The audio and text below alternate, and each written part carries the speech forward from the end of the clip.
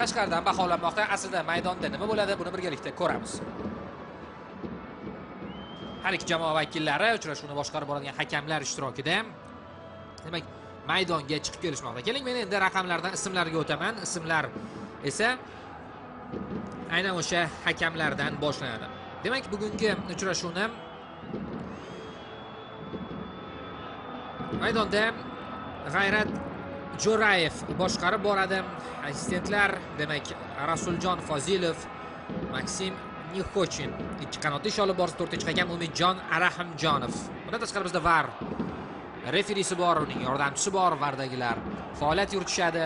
Umid qilamiz hakamlarning ortiqcha aralashuvsiz bir gollarga boy chiroyli futbol ko'raylik. Mana eng avvalda esladik bu e, insonlarni e, boshqa ularga qaytmasak ham rozimiz aslida mana shu menimcha mukammal futbol bo'ladi.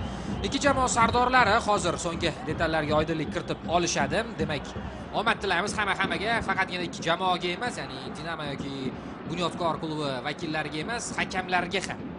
Bugun qiziq bo'ladi. Bunyodkor jamoasida murabbiylar o'zgarganidan xabaringiz bor. Mana bizga bunyodkor tarkibi namoyish etilmoqda. Hamkasblarimizga minnatdorlik bildiraman sergey arslonov jamoani qabul qilib olganiga ko'p bo'lgani yo'q. Yigirma sakkizinchi mart sanasida e'lon qilingandi. Keyin menimcha bitta uchrashuv o'tkazildi. Va sergey arslonov tajribali mutaxassis bilasiz o'zbek futbolida ikkita sergey arslonov bor. Bu katta sergey arslonov va e, tajribali mana shu mutaxassis bu ballodan so'ng bosh murabbiy lavozimiga kelib o'tirdi. Orada e, anvar g'ofurov ish olib borgandi. Bu haqda albatta to'xtalib o'taman.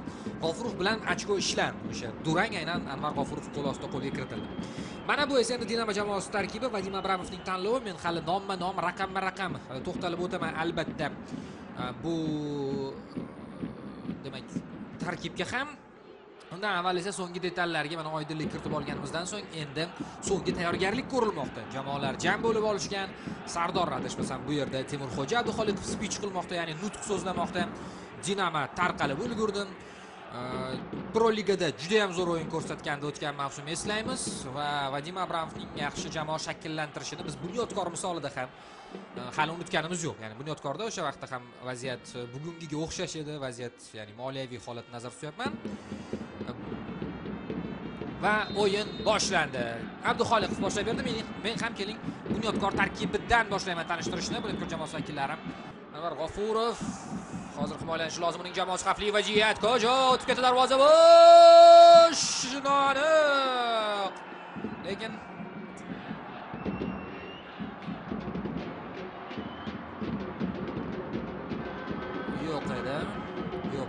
o'ngga uzatma ofsayd yo'q davom ettirsa bo'ladi.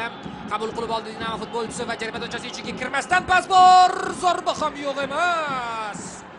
Xavfli ikkinchi marotaba golga yaqin kelmoqda. Bu safar ham kojo diqqatimiz markazida oson o'tkazib yuborishmoqda. Bunyodkor himoyachilar e'tibor qarating. Kojoni ham bu ofsayd chizig'ida qolib. Bosim esa sanjar shoahmedov tomonidan amalga oshirilgandi yana shoahmedov uzatma bera oldi ulgurdi davom ettirsa bo'ladi. Zarba! Yigirma birinchi raqamdagi anvarjon hojimirzayev urinib ko'rdi. O'zingiz ko'rib olishingiz mumkin. Shoahmedovga uzatma berib qo'ya qoldi. Juda yam qiziq. Keyin e, hojimirzayevning zarbasidan so'ng joel kojo ortga hojimirzayev. Hojimirzayevdan uzatma ko'rmadik. Hozircha aylanib oldi. Mana pas xislat halilov eh, joel kojoga tanasi bilan korpus bilan to'pni tashlab bergan endi esa abdullayev. Abdullayev! Darvozabon. To'pni egallab oldi. Abdullayevning zarbasini ko'ramiz takroran. Eh, endi bu asli uzatma edi chog'i bilmadim. Ozgina pastdan bo'lganda koja urinib ko'rardi birinchi taymini nol nol do'stlar tanaffusga yo'l olamiz. So'ng qaytamiz. Uzoqlashmang.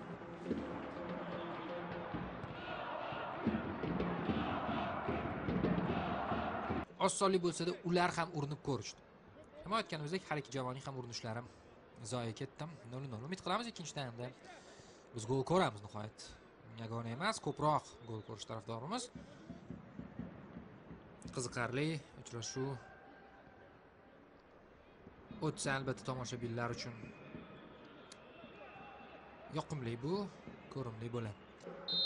Boshlaylik do'stlar. Uchrashuvni jadval nuqtai nazaridan kutmaydi. Mana bu yerda esa dinamada imkoniyat iminov. Oh uzatma o'tmayapti qoida buzilmadi. Hislat halilov halilov halilov darvozabon tepib yubordi usmonali hujum markazida o'ynayapti. Mana bu yerda esa bunyodkor futbolchilari.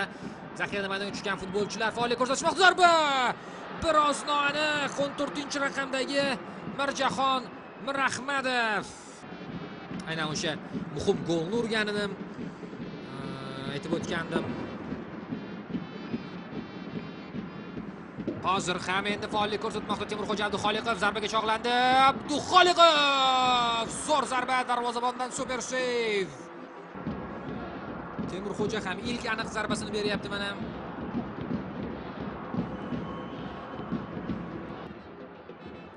Bunyodkorda imkoniyat jarima maydonchasiga kirdi futbolchi xavfli vaziyat pas bor zarba beradigan futbolchi yo'q 11 metrlik atrofida o'tib ketdi to'p temurxo'ja kurash olib borsa-da harakat qilsa-da egallay olmadi dinamo chiqib keta olarmikin qiyin bo'ladi berib ham qo'ydi bu esa o'z navbatida dinamoning hujumiga sabab bo'lmoqda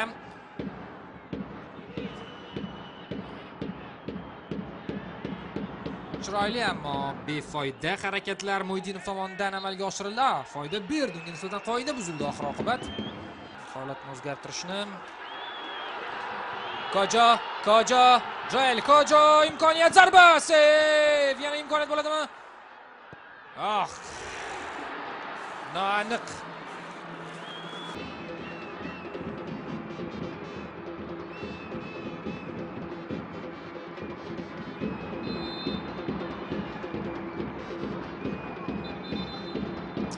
To'qnashuv hozir o'zi zaxirada maydonga tushgan futbolchi endi sariq olyapti tohirbek to'xtasinov. Bir daqiqa ham bo'lmagandi maydonga tushganiga? Sariq kartochka ishlab oldi.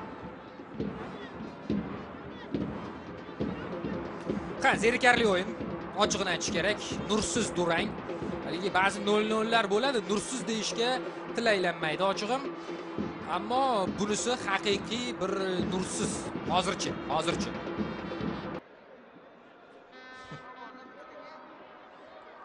ha qizil ehtimoli ko'rib chiqilyapti.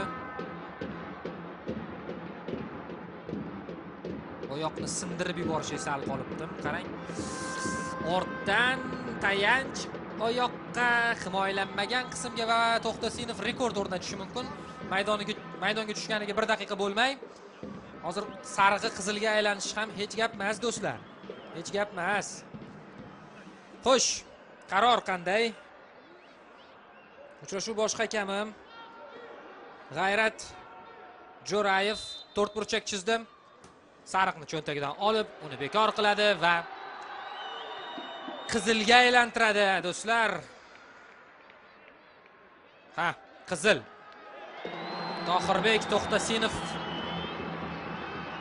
qizil oladi. Mana sizga buni bir ko'rish kerak. Maydonga tushganiga aytganimdek Э, o'ttiz qirq soniya bo'lgan futbolchim. Men tasavvurimda shunday men ochig'i. Nol nol toshkentda bunyodkor hamda dinamo jamoalari o'rtasidagi uchrashuv nihoyasiga yetdi.